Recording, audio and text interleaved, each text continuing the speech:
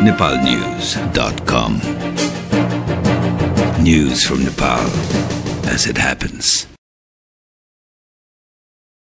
आज मिति दुई हजार अडसट्ठी साल मङ्सिर अठार गते आइतबार मार्ग शुक्ल दशमी तिथि तदनुसार डिसेम्बर चार तारिक काठमाडौँबाट प्रकाशित भएका नेपाली राष्ट्रिय दैनिक पत्रिकाहरूको मुख्य मुख्य समाचार सार संक्षेपमा स्वागत छ आज प्रकाशित दैनिक पत्रिकाहरूले मुलुकी ऐनलाई विस्थापन गर्न देवाली संहिता संविधान जारी नभएसम्म मेरै नेतृत्वको सरकार बाह्रमा फेरि जग्गा कब्जा शीर्षकका समाचारका साथै अन्य शीर्षकका समाचारहरूलाई पनि प्रमुखताका साथ प्रकाशित गरेका छन्। मुलुकी ऐनलाई विस्थापन गर्न देवानी संहिता शीर्षकको समाचारमा गोर्खापत्र दैनिक लेख्छ। प्रधान न्यायाधीश खिलराज रेग्मीले नेपालको न्याय प्रणालीलाई थप समुन्नत बनाउनका लागि पुरानो मुलुकी ऐनलाई विस्थापन गर्ने गरी देवानी संहिता प्रस्ताव गरिएको बताउनु भएको छ। नेपाल बार एसोसिएसन र न्याय पहुँच परियोजनाद्वारा शनिबार राजधानीमा आयोजित प्रस्तावित देवानी संहिता सुधारको सम्भावना विषयक छलफल कार्यक्रममा उहाँले यस्तो बताउनु भएको हो। पुराना कानुनमा भएका प्रावधानहरूले नयाँ सन्दर्भका जनअपेक्षालाई सम्बोधन गर्न नसक्ने हुँदा कानुनमा निरन्तर संशोधन परिमार्जन वा नयाँ कानुनको निर्माण हुने गरेको बताउँदै उहाँले प्रस्तावित देवानी संहितालाई जनअपेक्षालाई सम्बोधन गर्ने विश्वास व्यक्त गर्नुभयो भने गोर्खापत्र दैनिकले लेखेको छ यस्तै सोही पत्रिकाको अन्य समाचारहरूमा द्वन्द्वकालका पीडितले समान राहत पाउनुपर्छ। पहिचानका आधारमा राज्य पुनर्संरचना गर्नुपर्छ। लगायत अन्य शीर्षकका समाचारहरू गोर्खापत्र दैनिकले महत्वका साथ छापेको छ।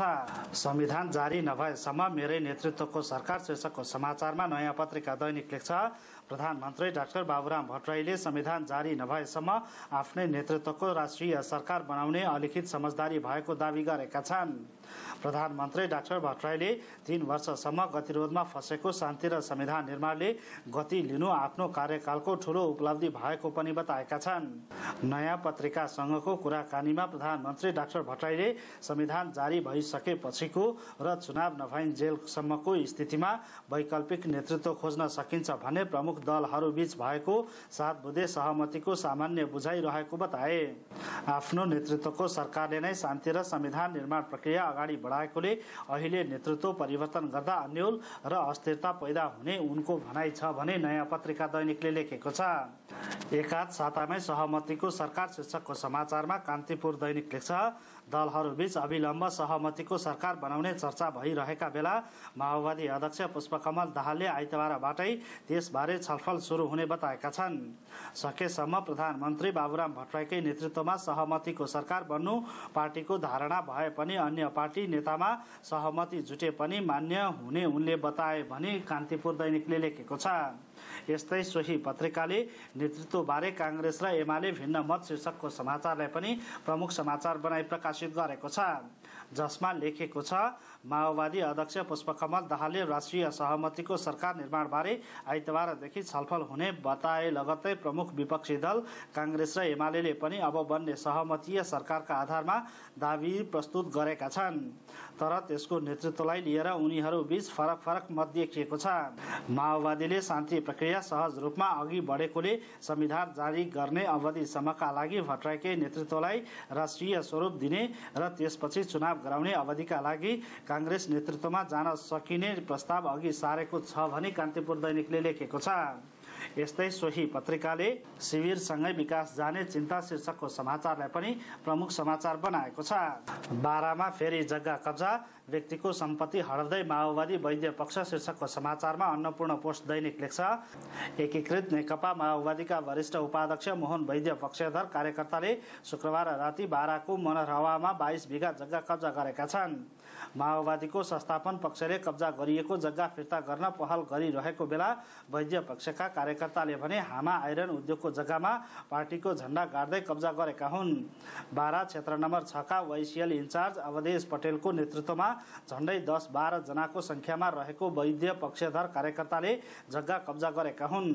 वैद्य पक्षले जग्गा कब्जा गरेपछि बाह्रमा यसअघि कब्जा गरिएका जग्गा फिर्ता हुनेमा आशंका उत्पन्न भएको छ भने अन्नपूर्ण पोस्ट दैनिकले लेखेको छ।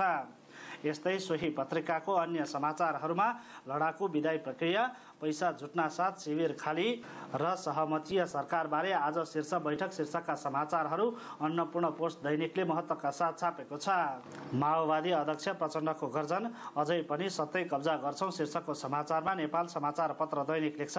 एकीकृत नेकपा माओवादीका अध्यक्ष पुष्पकमल दाहाल प्रचण्डले शान्ति र संविधानको काम पूरा हुन नदिने षड्यन्त्र भएमा जनआन्दोलन मार्फत सत्ता कब्जा गरिने बताउनु भएको छ। तीनवटा साना पार्टीका केही नेताहरूलाई पार्टी प्रवेश गराउन माओवादी केन्द्रीय कार्यालयमा शनिबार आयोजित कार्यक्रमलाई सम्बोधन गर्दै अध्यक्ष प्रचण्डले माओवादीले अझै पनि विद्रोहको बाटो छाडि नसकेकाले शान्ति र संविधानको बाटो सफल भए चुनावबाट र त्यो नभए विद्रोहबाट पनि सत्ता कब्जा गरेरै छाड्ने बताउनु भयो भने नेपाल समाचार पत्र दैनिकले लेखेको छ। यस्तै सोही पत्रिकाको अन्य समाचारहरूमा सरकारको सुरक्षा व्यवस्थालाई झापड राजधानीमै सुन कालीगढको हत्या सुकुम्बासी बस्ती हटाउन निर्देशन र दौरा सुरुवाल लगाउँछु मन्त्री शीर्षकका समाचारहरू। नेपाल समाचार पत्र दैनिकले महत्वका साथ छापेको छ। नेपालमा चिनिया कार्ड देखिन शीर्षकको समाचारमा नागरिक दैनिक लेख्छ नेपालले भारत विरुद्ध चिनिया कार्ड खेलेको आफूले नपाएको पूर्व भारतीय राजदूत शिवशङ्कर मुखर्जीले बताएका छन्। भारतीय विदेश मन्त्रालय र त्यहाँको उद्योग वाणिज्य महासंघ फिकीद्वारा काठमाडौँमा शनिबार आयोजित दुई देशीय सम्बन्धबारे छलफलमा उनले भने मैले साढे तीन वर्ष यहाँ राजदूत रहँदा नेपालले भारत विरुद्ध चाइना कार्ड खेलेको कहिले दिल्लीमा रिपोर्ट गरिन। मुखर्जी तत्कालीन राजा ज्ञानेन्द्रको पालादेखि संविधान सभा निर्वाचन ताकासम्म नेपालमा राजदूत रहेका थिए। नेपाली जनताको चाहना अनुसार भारतले राजनीतिक परिवर्तनमा सघाउने गरेको उनले जिकिर गरे भने नागरिक दैनिकले लेखेको छ। यस्तै सोही पत्रिकाको अन्य समाचारहरूमा डोकोमा पानी बोक्न नसकेपछि फिनिस मन्त्रीले भनिन् नेपाली महिला बलिया रहेछन् र बिस्कुटमा तोक रक्षा मन्त्रीको शीर्षकका समाचारहरू नागरिक दैनिकले छापेको छ। नयाँ लगानी गर्न अधिकांश बैङ्क असमर्थ शीर्षकको समाचारमा कारोबार दैनिक लेख्छ। उद्योगी र व्यापारीहरूले बजारमा आर्थिक तरलता भए पनि बैङ्कहरूले पर्याप्त कर्जा नदिएको गुनासो गरिरहेको बेला चालु आर्थिक वर्षको पहिलो तीन महिनाको विवरणले बैङ्कहरू कर्जा प्रवाह गर्न असमर्थ रहेको देखाएको छ। कर्जा र निक्षेपको अनुपात तथा पुँजी पर्याप्तताका सीमाका कारण बैङ्कहरू लगानी गर्न नसक्ने अवस्थामा पुगेका हुन्। लगानी बढाउन निक्षेप वृद्धिको साथै कतिपय बैङ्कहरूले पुँजी पनि बढाउनु पर्ने अवस्था देखिएको छ भनी कारोबार दैनिकले लेखेको छ। यस्तै सोही पत्रिकाले नेपालगञ्जका होटेल धमाधम बन्द शीर्षकका समाचारलाई पनि प्रमुख समाचार बनाएको छ। काठमाडौँबाट प्रकाशित भएका नेपाली राष्ट्रिय दैनिक पत्रिकाहरूको मुख्य मुख्य समाचार सार संक्षेप यति नै। nepalnews.com News from Nepal as it happens.